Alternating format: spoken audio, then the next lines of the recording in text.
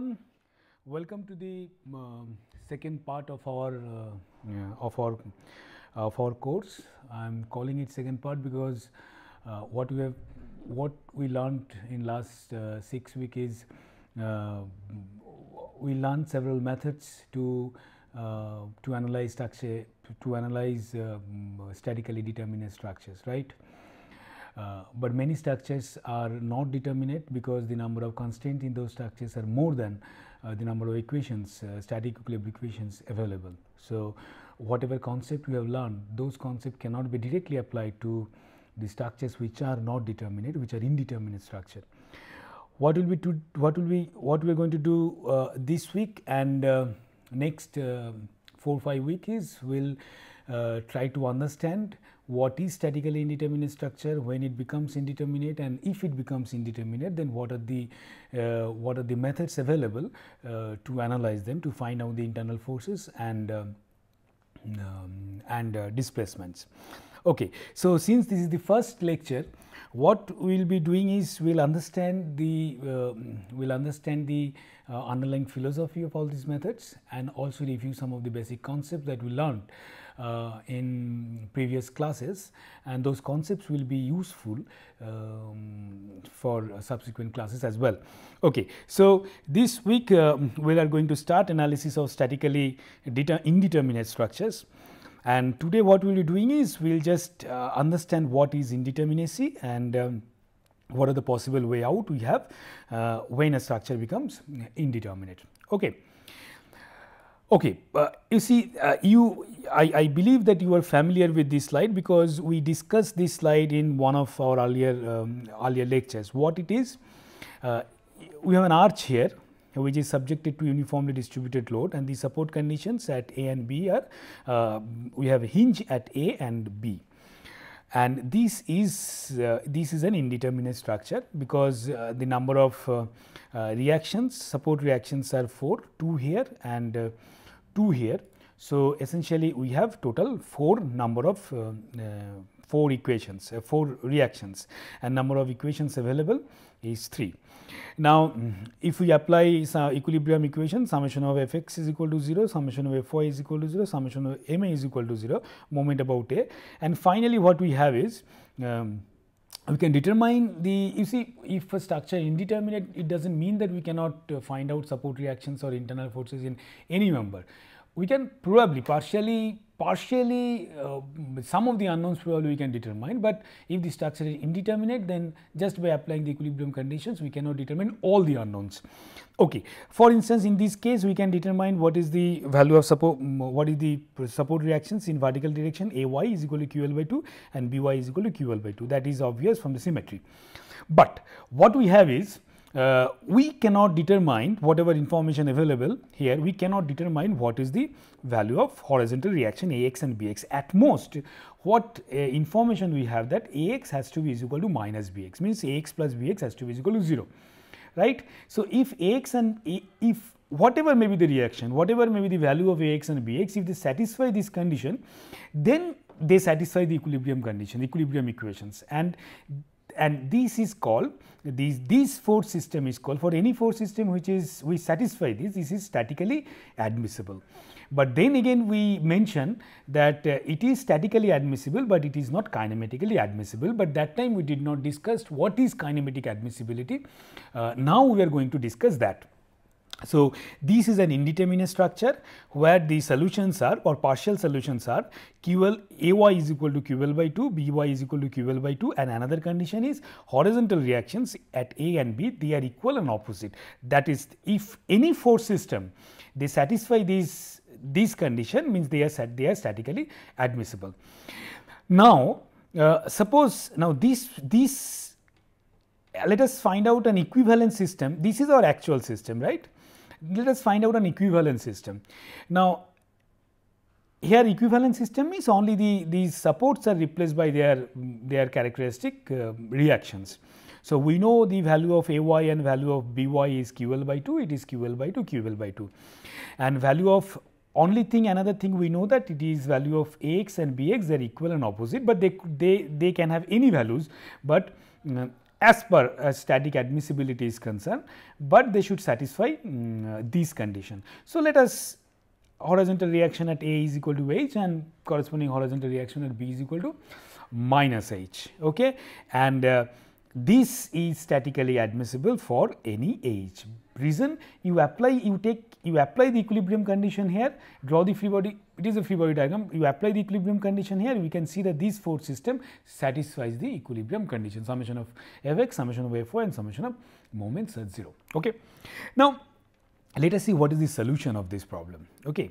Mm, solution of this problem is uh, if we solve it, I do we have not yet discussed how to solve indeterminate structure, but if we can solve it probably as we understand this yes, some of the methods in some of in one of the class we will probably address this problem and try and solve um, uh, what is the value of h. But till now uh, take it for granted that if we solve this problem for the given uh, given value uh, given value means if we take uh, q is equal to 1 and uh, then the then H reaction is H is equal to minus 2.5 okay 2.5 and the deflected shape of this is shown here. So, this is the solution of the problem. How we arrived at the solution for the time being you take the solution for granted we will come to this point um, uh, as we as we proceed. Now, what what point I want to make it this is as I said just in the previous slide uh, the force system are this equilibrium at in any value of h the equilibrium conditions are satisfied. Now, let us give some arbitrary value of h and then see what happens. Okay. Now, you see these are some uh, solutions that you have obtained by giving some arbitrary value of h, but uh, which satisfy that equilibrium condition. Okay. Now, here h is taken as 3 kilonewton, in this case h is taken as minus 3, h is minus 0.5 and H is on 1. In all these cases, in all these cases equilibrium equations are satisfied okay, in all these cases. But just by looking at the deformed shape we can easily say they cannot be the solution of this problem. The one simple reason they cannot be solution of this problem because if you see this problem it was hinge support. So, there should not be any uh, deflection here and there should not be any deflection both the deflection in both the directions are restrained and not allowed. But if you see in all these cases uh, the beam mm, the, the support they deflects like this they change their position like this. So, these solutions are not the solution. Now, it is for some value of h you can have you can have you can have you can put any value of h and they satisfy the equilibrium conditions, but the deformation you get they do not satisfy the support condition that we have in real structure right? And we can have such infinite so what is the what is the point we can make here? We can have infinitely many possibilities um, possibilities of force system which are statically admissible which uh, satisfy the equilibrium condition, but among all these infinite force system just only one system will one force will be one force system will be the solution uh, of this problem. Uh, and that solution will satisfy these boundary conditions these conditions. Okay. Now this is called kinematically kinematic admissibility. Means all these problem if you, if you look at this slide all these results solutions they the force system that we have here they are statically admissible they satisfy the equilibrium conditions but they are not kinematically admissible solution because they do not satisfy the kinematics that the structure the, uh, the structure with given boundary condition and given load uh, must follow. Okay so then what but at least the information that we have in this slide we cannot we cannot arrive at this solution. We cannot arrived at this solution. Okay.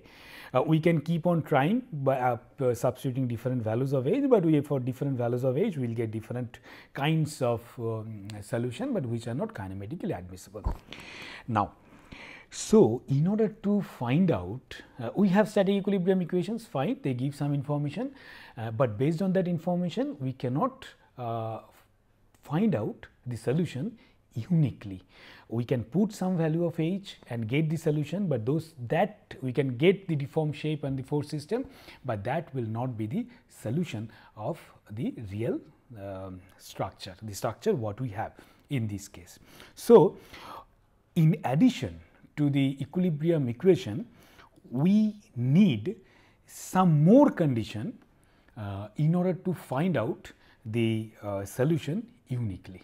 Okay. So, among all these infinite possibilities only one case will be the solution of the system and in order to pinpoint that in order to uniquely identify that equilibrium conditions alone uh, are not um, enough we need some additional condition uh, which will help us to find out the solution uniquely. Okay. Now, entire all the process that we have, all the methods uh, we have uh, to solve statically indeterminate structure, those methods are different because how these additional conditions are formed uh, that is different in different methods. Okay. Now, uh, we have broadly two kinds of method. One is force method, one is displacement method. Okay.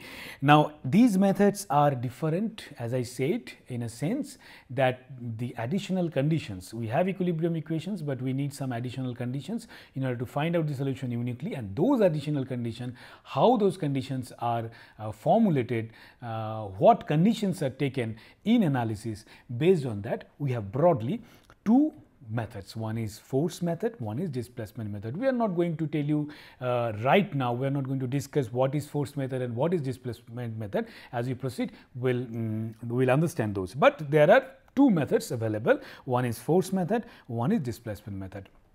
Well, in this week, uh, uh, we'll introduce these methods, force and displacement methods, and then rest of some rest of the weeks, we'll uh, apply those methods in different um, in different um, different structural problems. Okay.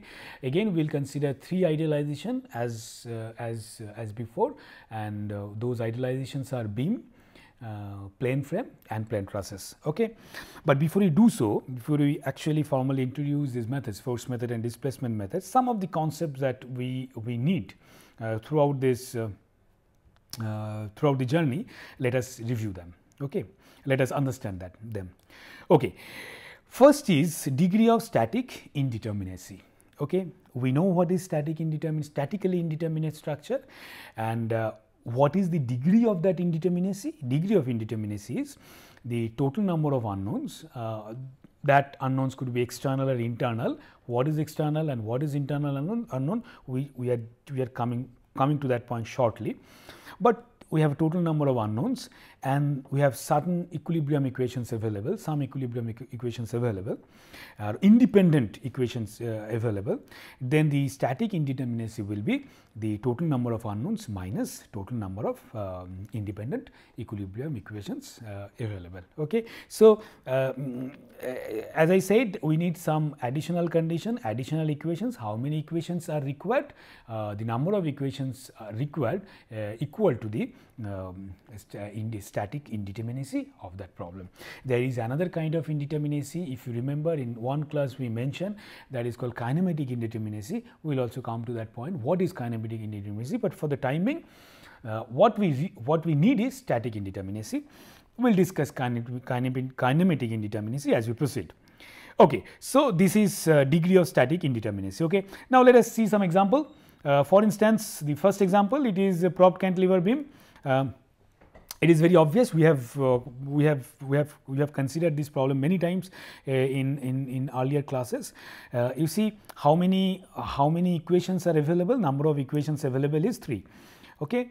And equilibrium equations available is 3 so equation number of equation is available is 3 one is uh, summation of f x is equal to 0, summation of f y and summation of moment is equal to 0. And how many um, reactions we have? We have uh, one is vertical reaction at B and then uh, then we have A y, A y horizontal here we have horizontal reaction and then moment and then moment. So, total uh, total unknown uh, unknowns are 4. So, unknowns are 4. So, static indeterminacy which is sometimes denoted as ns is equal to 1. So, in this problem the degree of static indeterminacy is 4 minus 3 is equal to 1. Let us see for this case again number of equations available is 3 number of equation available is 3 and how many uh, how many unknowns we have we have uh, here two unknowns horizontal and vertical because it is hinge support horizontal and vertical and then we have here 3 because it is um, fixed support. So, total 3 plus 2 plus, uh, plus 2 total 7 unknown is 7 unknown is 7. So, in this case NS becomes 7 plus 7 minus 3 4 okay and similarly in this case again equations available is 3 equation available is 3 and unknown um, unknown available is it is roller support so only vertical reaction only vertical reaction only vertical reaction in this case vertical reaction and horizontal reaction. So, total 5 total 1 2 3 4 5 total 5 and then NS becomes 5 minus 2. Okay. In this case uh, now equation equilibrium equations available is uh, 3, but you see we there is a hinge here there is a hinge here okay? And hinge will provide you one more condition. And what is that condition? At this point moment is 0 so total equations available in this case is 4 three equilibrium conditions summation of f x summation of y and summation of moments at 0 from any point. And additional equation is at the hinge point moment is 0 so equation becomes 4 and uh, you a number of unknown becomes 5 in this case ns becomes 1 Okay. So, for a beam we can find out for a continuous beam or any statically indeterminate we can find out what is the degree of um, static indeterminacy. Okay. Now, um, let us let us uh, see some more example uh, for um, for frame. Now, see these these all these indeterminacy was external indeterminacy because these these are they these structures are indeterminate because of the external support system. For instance if for in this problem in this problem if we remove if we remove this support then it becomes a cantilever beam and it is statically determinate structure in this problem if we remove this support and if we remove this support then again it becomes statically determinate. If we in this problem if we remove this support and remove this again it becomes a simply supported beam statically determinate. In this case if we remove one support say one support if we remove keeping one support uh, as it is then it becomes statically de determinate. So, in all these problems indeterminacy created due to the external uh, external due to the reactions reactions from the support. So, this kind of indeterminacy is called external indeterminacy. Now, uh, there could be another kind of in indeterminacy which is internal indeterminacy. Now, for consider this problem this is a frame okay two story frame. Now, you see if we see the support condition this is how many how many uh, uh, how many reactions we have. We have one reactions here a one reaction and then another reaction here and then one reaction. This is roller this is hinge support. So we have three reactions and we can apply three equilibrium conditions to find out these reactions. So these reactions can be determined. So these reactions can be determined. But so externally the structure is determinate as long as our intention is to determine the support reactions. But now in addition to support reaction we need to find out internal forces in different members as well. If we try to do that in this case let us see suppose we have already computed the support reaction let us draw the free body diagram of AB and then this will be the free body diagram of AB at point A this is A and this is this is B. So, at point A we have support reaction A y and A x and point B uh, this is frame so, we have three forces uh, uh, horizontal, vertical, uh, shear force, axial force and the moment. Okay. Now, here we can apply three equilibrium condition uh, and determine V, F, M. So, we can determine that fine. Now, let us draw the free body diagram of joint of this part joint B. So, this is B and this is member BE, this is member BC and this is member BE. Now, you see here we have 3 unknown, here we have 3 unknown, here we have 3 unknown. So, total 9 unknowns we have.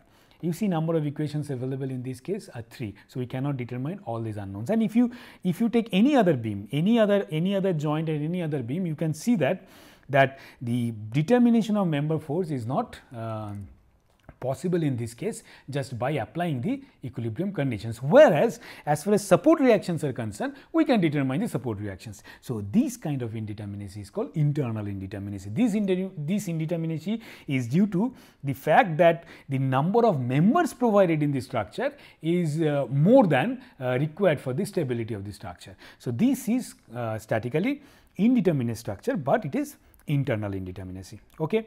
Now, uh, See the next problem. Now, for a frame there is a there is a rule that external indeterminacy can be external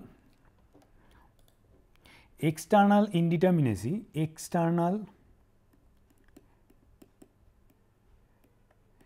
external indeterminacy indeterminacy can be computed at 3 into c okay where c is the number of closed loop you have in this structure. For instance, in this structure, let us go back to the previous structure. Uh, um,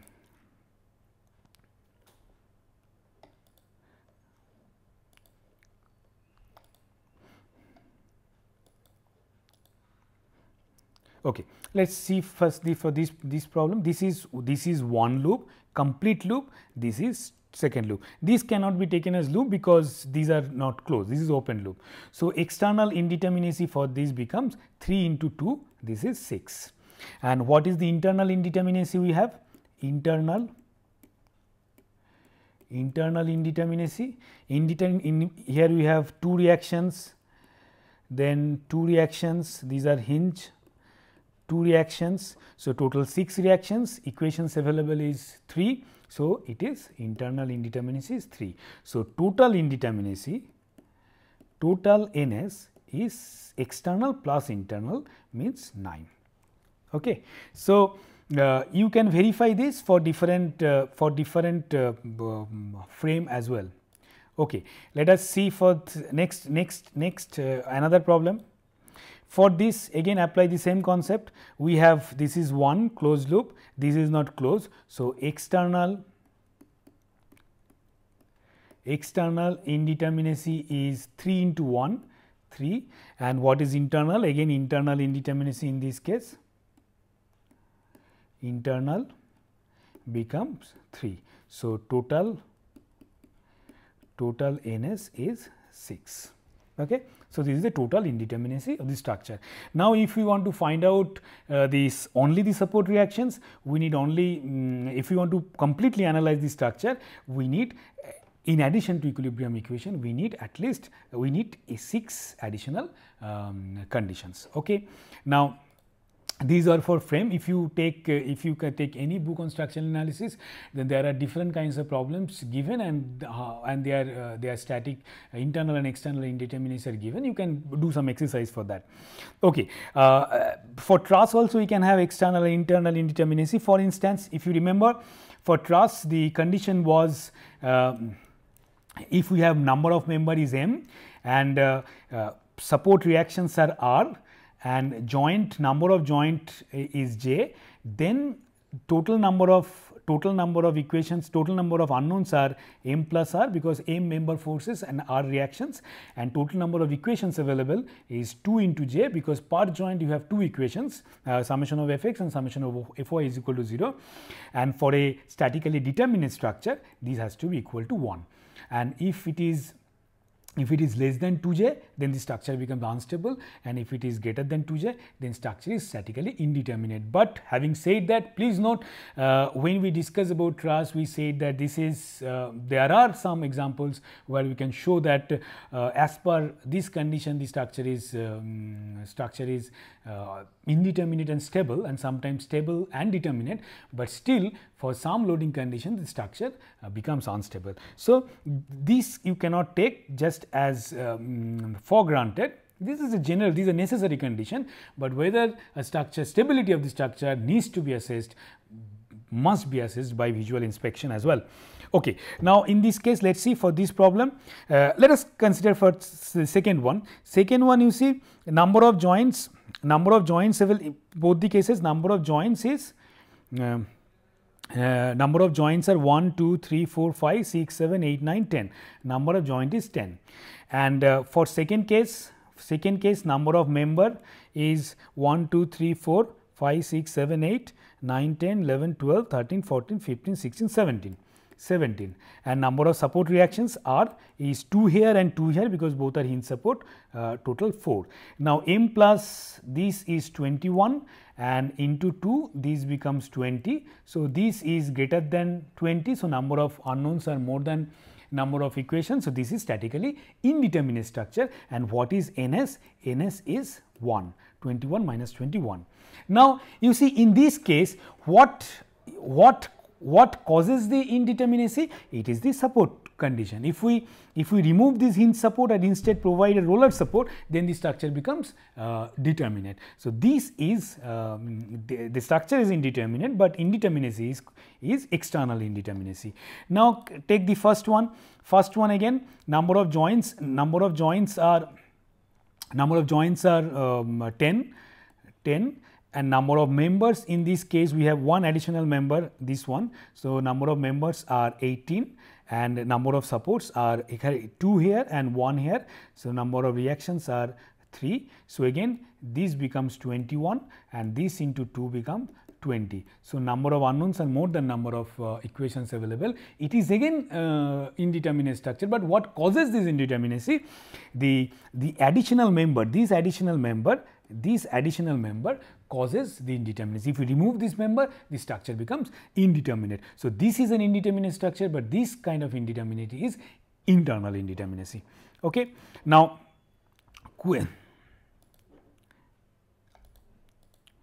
Okay. Now, some more um, um, concept. One is uh, principle of superposition. Um, what is principle of superposition? Um, principle of superposition is uh, you see we in, in one of the classes probably we discussed what is principle superposition. Since in this all the problems that we are doing here it is linear problem means force and displacement relations are linear okay stress strain relations are linear. So, what we can do suppose this is the actual uh, actual structure that we need to solve we need to find out the we need to analyze find out the support reaction suppose in this case the displacement at at point C we need to find out for this force system. What we can do is we can break the structure into several small small part. First instance suppose this is the structure and this structure same structure, but only considered only consider load P 1 and the second case consider the same structure, but only consider the distributed load and third case same structure, but only consider the P 3 case.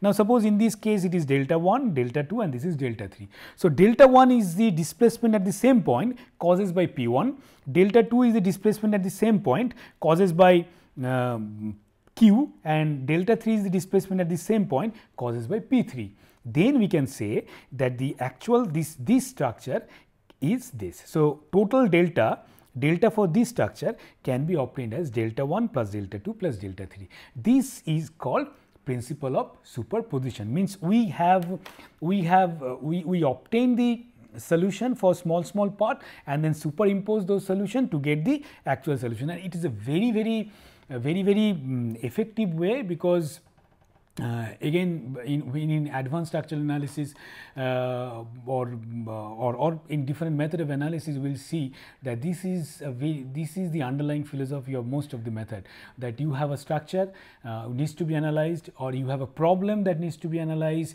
divide the problem into small small sub problems and then assemble them together. And how you assemble them that depends on whether the problem is linear or non-linear. But in this case since we are in the we are the linearity is one of the important assumption. So, we can just add them to get the final uh, deflection at this point and that is true for bending moment, shear force, support reactions, any internal forces. Okay. So, this method this is called principle of superposition we will be using frequently this principle concept of principle superposition. And another important concept is compatibility. What compatibility says just to demonstrate take suppose this is a simply supported beam subjected to not simply supported it is a continuous beam indeterminate beam uh, subjected to some loading system and this blue line that you can see that is the deflected shape of this beam. Now, if we draw a slope at B, then suppose this slope is theta BA and this slope is theta BC. Okay. What compatibility says that this theta BA has to be equal to uh, theta b, theta ba. This is one condition. And the second condition is at b, since it is supported, at the hinge supported, at b, the deflection at b should be equal to 0. So, delta b should be equal to 0 and this angle and this angle, this slope, slope obtained from this segment and slope obtained from this segment at the same point has to be same. Okay. Just to uh, one more example, suppose this is another example and this blue line that you can see that is the deflected shape. Okay. And uh, at this joint B we have three members member AB, BC and BD. Now, suppose theta BC is the slope at B, but obtained from segment BC. Similarly, BA is from BA and B theta BD is from BD. What compatibility condition says that because because this is this is a rigid joint this is a rigid joint and initially it was 90 degree. So, it remains 90 degree there will be no rotation at this joint. Uh, so, these angles are 90 these angles are 90 degree. These angles are these angles are 90 degree. Okay? These angles are all 90 degree. So, it says that this this angle this angle and this angle uh, should be uh, same. Okay?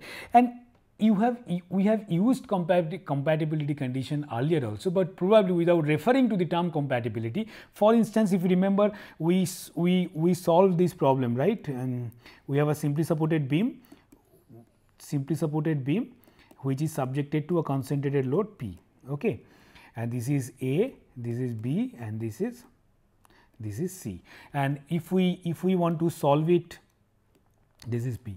If we want to solve it by, by direct integration method and the direct integration equations that we had was mm, uh, d2 y d2 y dx2 is equal to minus m by ei right. So, but what is the bending moment diagram for this beam? The bending moment diagram for this beam is like this like this. Okay. So, bending moment in in part AB and in part BC they are different. So, we need to apply these apply this uh, we need to integrate this uh, uh, integrate this equation over B over AB and over BC separately. Now, for each case we will get two constant because the second order equation. So, for AB we get two constants C1 and C2 C1 C1 and C2 and for BC also we get three two constants C3 and C4. What are the conditions we have to determine those con, con constant boundary conditions we have that at A is equal to deflection is equal to 0, at C is equal to deflection is equal to 0. But that will give us two constant, but other two constant we need two equations and what what are those two conditions? If you remember, we use that slope at B is equal to 0 and deflection slope at B is equal to slope is continuous at B and deflection is continuous at B.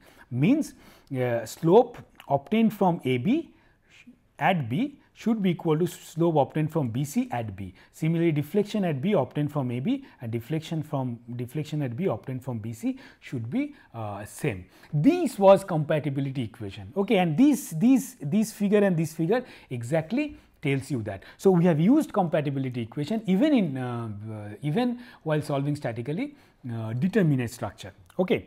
So, compatibility equation is another thing that will be used very frequently uh, uh, while studying uh, indeterminate structure. Okay. So, what we do is stop here today. Next class, uh, as I said, uh, there are two kinds of method one is broadly one is force based force method one is displacement method what we do next lecture is we will just introduce the force method okay okay thank you see you next class